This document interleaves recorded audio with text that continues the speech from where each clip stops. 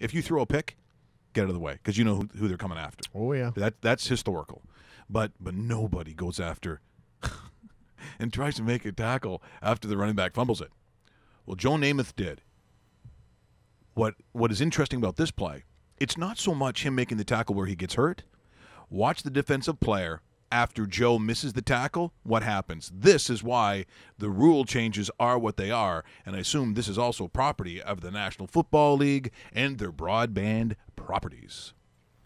August 7, 1971. Jets against the Lions. The quarterback, number 12, Joe Willie Namath. The handoff to Lee White. The search for running room not to be found. The fumble. The pickup by middle linebacker Mike Lucci. The attempted tackle by Namath. The Lucci score incidental. What of Namath? Perhaps another full season on the sidelines. Look at it again. Now the attempted tackle.